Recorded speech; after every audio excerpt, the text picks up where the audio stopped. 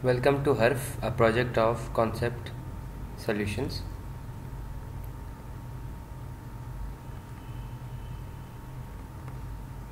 आज का जो हमारा टॉपिक है वो मैथमेटिक्स वन में कंटिन्यूएशन है मैट्रिसेस की। हमने पिछली बार पढ़े थे जो मैट्रिक्स मैट्रिसेस थे वो हमने टू क्रॉस टू की हद तक ही पढ़े थे। इसका हमने अगर ये मैट्रिक्स ए है तो हमने ए इनवर्स निकालना सीखा था।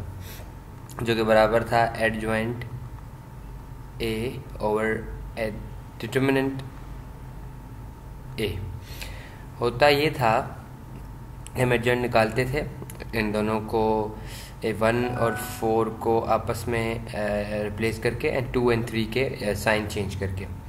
उसके बाद हम डिटर्मिनेंट निकालते थे एंड इनवर्स निकल जाता था। लेकिन अगर आप एक थ्री क्रॉस थ्री मैट्रिक्स लेते हैं फॉर एग्जांपल आपके पास ये एक मैट्रिक्स है।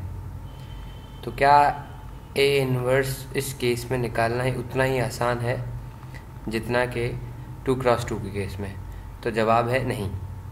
क्यों? क्योंकि इसके अंदर थ्री क्रॉस थ्री में आप इस तरीके से चेंजिंग्स नहीं कर सकते। तो सबसे पहले आपको थ्री क्रॉस थ्री मैट्रिक्स के लिए माइनर्स निकालने होते हैं।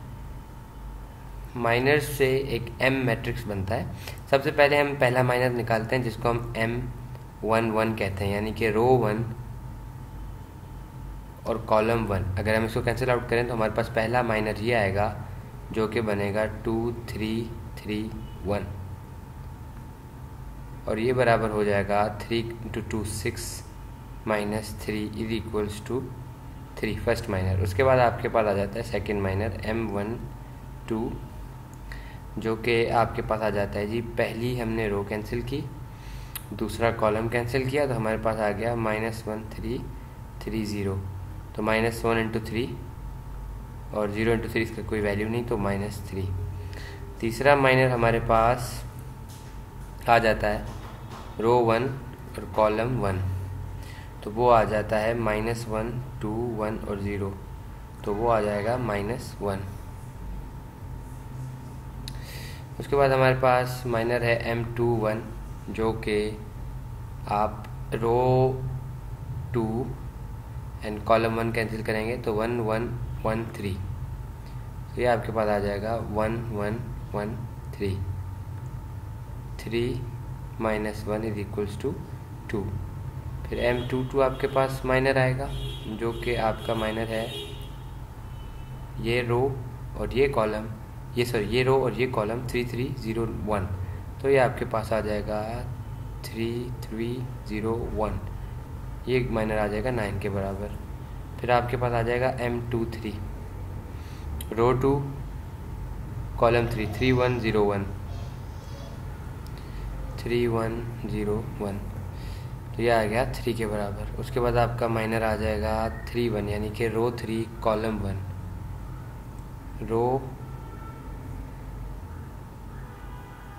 three column one ये आपके पास आ जाएगा। इसको आप row three column one sorry row three column one one one two three ये आपका नेक्स्ट माइनर आ गया। One one two three three minus two which is equals to one M three two and M three three इसी similarly आपके ये minors भी निकल आएँगे।